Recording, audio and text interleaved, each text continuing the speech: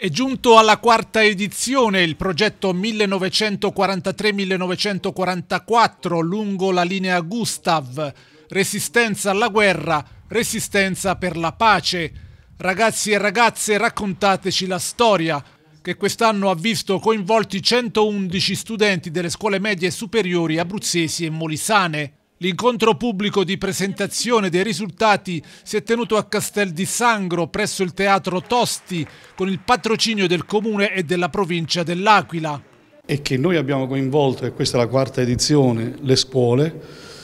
di, diversi, di diverse città, sia di Abruzzo che di Molise, per stimolare i giovani a fare delle ricerche su quello che è accaduto durante la, il fronte di guerra. Questo perché è vero che ci sono gli scritti storici, ma ci sono tanti episodi, tantissimi fatti che sono ignorati, non si conoscono e le loro ricerche servono anche a valorizzare questi fatti e, e l'insieme di questi fatti, di questi episodi possono costituire un arricchimento importante per la storia delle comunità locali. Questo purtroppo è un argomento attualissimo. Sì, infatti noi nella seconda parte di quella striscia che noi abbiamo messo sul Garofano parla appunto di pace per l'Europa e costruire la pace per l'Europa oggi è un elemento fondamentale perché siamo in una situazione diciamo, di cambiamento radicale, di una transizione che nessuno può immaginare come potrà finire. Certo è che noi dobbiamo rafforzare il concetto della pace. Io nella mia comunicazione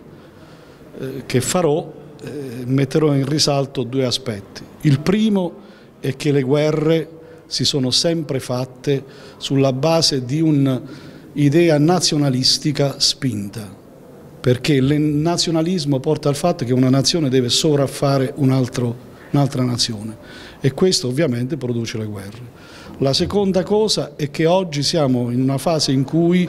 la necessità di cooperare, la necessità di poter trovare degli sbocchi e l'Europa in questo è una eh, funzione determinante, eh, deve spingere a creare sempre con l'Europa una integrazione, una prospettiva. Rinchiudersi nei propri stati sarebbe un errore madornale e noi vorremmo anche lanciare un appello a questi ragazzi che oggi partecipano perché il Presidente della Repubblica ha chiesto, si è augurato che ci sia una grande partecipazione al voto per l'Europa e noi questa cosa dobbiamo spingerla e ricordarla perché è un esercizio di democrazia per respingere qualsiasi violenza e qualsiasi atto diciamo, di sopraffazione, che abbiamo già conosciuto tra l'altro nel nostro paese nel ventennio fascista. In sostanza quale può essere l'insegnamento per i ragazzi, per gli studenti, per le generazioni future? L'insegnamento è soprattutto quello di conoscere la storia, di capire quali sono, quali sono state le motivazioni per, perché hanno spinto le nazioni a combattersi a vicenda, analizzare ad oggi quei fatti, portarli alla realtà di oggi e capire che oggi è un mondo diciamo, interconnesso e quindi in virtù di questo noi dobbiamo trovare le soluzioni diciamo, dialettiche, pacifiche, di collaborazione per poter consentire a tutti di poter vivere serenamente il proprio futuro. Il progetto promosso dallo SPI Abruzzo Molise e l'associazione Sentiero della Libertà ha visto l'adesione dell'Istituto di Istruzione Superiore Statale Pattini Liberatore di Castel di Sangro, il Liceo Linguistico De Titta Fermi di Lanciano, il Liceo Scientifico Statale Algeri Marino di Casoli e l'Istituto Alberghiero Giovanni Marchitelli di Villa Santa Maria. Nel merito si può dire che continuano le nostre tappe all'insegna della memoria. Direi anche di utilizzare la parola ricordo che a me piace davvero molto molto di più della parola memoria. Ricordare è una parola che viene dal latino, ritornare indietro, cordium, ricordare, dal latino cordis, cuore. Quindi queste giornate sono tutte all'insegna del cor cordium, del cuore dei cuori. Perché mi piace dire questa, questa cosa? Mi piace molto perché la memoria e tutto quello che è stato il nostro passato deve entrare in tutti i cuori. Le popolazioni antiche pensavano che nel cuore fosse, ci fosse la creazione delle parole, del pensiero, di quanto a noi più caro. E quindi è chiaro che il cor cordium deve essere per noi la memoria e la memoria fatta giorno per giorno. Non dimentichiamo che siamo all'ottantenario di fatti incredibili avvenuti sul nostro territorio, la distruzione di Castel di Sangro, la linea Gustav, tutto quello che in qualche modo si incatena anche con il sentiero della, della libertà. Per cui oggi per noi è una grande festa poter in qualche modo vedere e partecipare davvero con il cuore a quanto i ragazzi e i docenti hanno prodotto e sono sicura che ogni ragazzo, che ogni docente che ha partecipato da anni a questo progetto e continua a crederci porterà nel suo cuore qualcosa di prezioso per costruire il suo futuro, un futuro di pace, un futuro di inclusione, un futuro che sicuramente, talmente radicato nel proprio territorio e nella propria gente, darà l'energia per proiettarsi nel domani. Come possiamo contestualizzare questo evento? Appunto, come dicevo prima, l'evento si contestualizza in una serie di eventi, sono eh, eventi che eh, a piccole gocce si uniscono per creare questo evento finale che raccoglie un po' tutto quello che si è fatto nel territorio abruzzese e molisano. E quindi oggi eh, davvero auguro agli studenti, ai docenti e eh, allo CGL di passare insieme una giornata all'insegna del cuore dei cuori. Noi parliamo, torniamo a parlare di eh, resistenza alla guerra, resistenza per la pace. Lo facciamo attingendo alle nostre radici, alla memoria e lo facciamo soprattutto con eh, il protagonismo della scuola, docenti e ragazze e ragazzi, che è la cosa credo più importante, che hanno fatto ricerca eh, ognuno nel proprio territorio, eh, raccogliendo anche delle storie, delle memorie e intrecciandole con le fonti documentarie perché diciamo, è importante anche l'uso, il buon uso del metodo storico. Vengono fuori anche storie sconosciute che ci restituiscono la complessità di quel periodo, parliamo soprattutto del periodo dopo l'8 settembre del 43, ma nel restituirci la complessità e anche i molteplici aspetti della resistenza, resistenza non solo armata ma resistenza anche civile, resistenza eh, umanitaria, eh, ci raccontano del protagonismo protagonismo di donne e uomini e ci danno ci consegnano l'importanza di, di, certi valori per i quali si sono sacrificati queste nostre madri e questi nostri padri, valori che diciamo, sono importanti ancora oggi, valori che hanno portato alle battaglie per i diritti, diritti che vanno riconquistati giorno per giorno. E allora se nel, durante la resistenza in tante, in tanti imbracciarono anche le armi, lo fecero per costruire la pace, ce ne hanno lasciato testimonianza. E noi oggi ci chiediamo quanto sia importante l'impegno di ciascuno, la responsabilità di ciascuno anche nel costruire la pace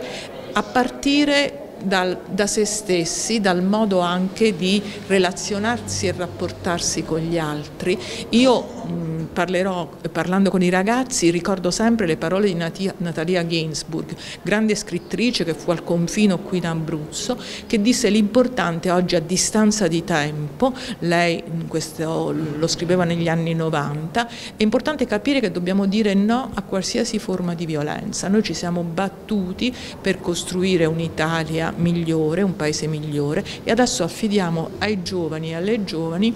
il compito di costruire, di portare fino in fondo quella che è stata la nostra missione. Gli alunni, coordinati dai rispettivi docenti, si sono cimentati in una ricerca finalizzata alla conservazione della memoria degli avvenimenti della Seconda Guerra Mondiale. E la memoria come conoscenza del passato e radice del futuro al centro del progetto, con l'intento di rafforzare la conoscenza di quanto accaduto dopo l'8 settembre del 43, resistenza armata e umanitaria, nascita della Repubblica, paragonandolo ai grandi temi sociali e politici di oggi. L'obiettivo è di favorire la consapevolezza che la pace e la convivenza tra i popoli sono il bene più prezioso. È un'occasione molto importante per noi, soprattutto per i ragazzi, per riflettere sul valore della storia, sull'importanza dell'insegnamento che ci viene dal passato, al fine di costruire un futuro, e non deve essere ovviamente retorico, incentrato sui valori della solidarietà,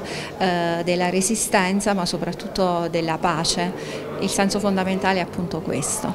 È un argomento comunque attualissimo, purtroppo sicuramente attuale che va eh, affrontato in maniera corretta, priva e scevra dalle varie posizioni ideologiche. Il rischio è proprio questo, di stare da una parte piuttosto che dall'altra, esasperando una posizione piuttosto che l'altra. L'obiettivo comune è quello de, invece della diplomazia, del lavorare insieme, di costruire un percorso di crescita comune che consenta alle varie nazionalità, ai vari popoli di eh, avere il pieno riconoscimento riconoscimento dei propri diritti e la storia in questo senso ci aiuta perché pensare alla linea Gustav, pensare al processo di resistenza che si è sviluppato in Italia ha, eh, costituisce le basi per un futuro democratico. La nostra stessa Costituzione è figlia di questo percorso. Cos'altro possiamo dire in merito a questo importantissimo evento?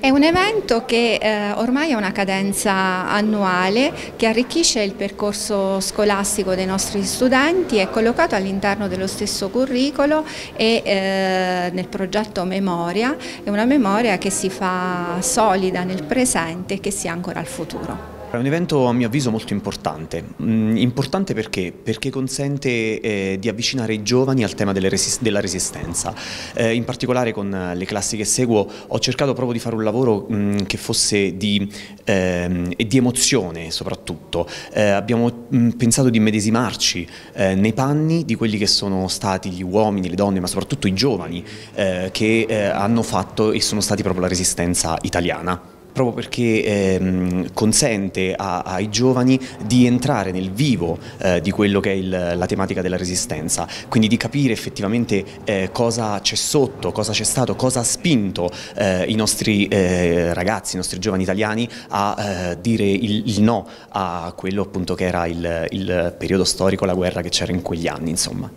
Il tema della guerra purtroppo è attualissimo, mi viene sempre da dire che la storia dovrebbe insegnarci, dovrebbe insegnare a, a, e soprattutto dovrebbe insegnare a non ripetere eh, quello che è stato. Purtroppo eh, invece ci troviamo tutt'oggi di fronte a teatri di guerra atroci, eh, massacri insomma eh, incommentabili e purtroppo mi piacerebbe che questo grido di pace eh, si diffondesse eh, a partire proprio dalle, dalle, nuove generazioni, quindi dai nostri ragazzi e poi eh, arrivasse fino a, a, effettivamente a tutte le generazioni future. L'Abruzzo nel corso della seconda guerra mondiale è stato veramente una regione cerniera, qui sono accaduti fatti straordinari e tragici, drammatici. E soprattutto la linea del fronte è stata ferma per mesi e mesi dall'autunno del 43 alla primavera estate del 44 coinvolgendo intere popolazioni in esperienze drammatiche. Ormai eh, nel Novecento i civili sono stati sempre più coinvolti nelle guerre ed è necessario quindi riflettere su questo. Le guerre contemporanee sono guerre civili, sono guerre che danneggiano non solo i territori interi ma soprattutto le popolazioni che le abitano e quindi è necessario pensare alla pace come una prospettiva necessaria. Per questo è importante coinvolgere i giovani negli istituti superiori, medi, anche elementari, perché capiscano il valore della pace e la tragicità e le lacerazioni che la guerra produce. Possiamo dire eh, una cosa importantissima, eh, ritengo, che vogliamo la pace e che quindi quello che è successo eh, nel 43-44 ci deve insegnare a fare pace sempre, per fare pace non bisogna comprare armi. Questo è un tema attualissimo purtroppo. Sì, è molto attuale perché le guerre ci sono intorno e, e in realtà questa giornata può essere un appello alle nostre istituzioni, ai governi, a tutta l'Europa per spingere verso forme di pace che salvino le vite e salvino i popoli. Per gli studenti quale può essere l'insegnamento? Ma per gli studenti secondo me, è, siamo alla quarta edizione, è un grande insegnamento perché loro si accostano a fatti avvenuti sul territorio in un periodo di guerra e ne possono trarre insegnamento per comprendere quanto è grave la guerra e che poi non serve perché la guerra in realtà poi la pagano, eh, eh, la pagano i poveri, eh, i piccoli, le donne, eh, eh, la, la pagano quelli che non dovrebbero pagarla.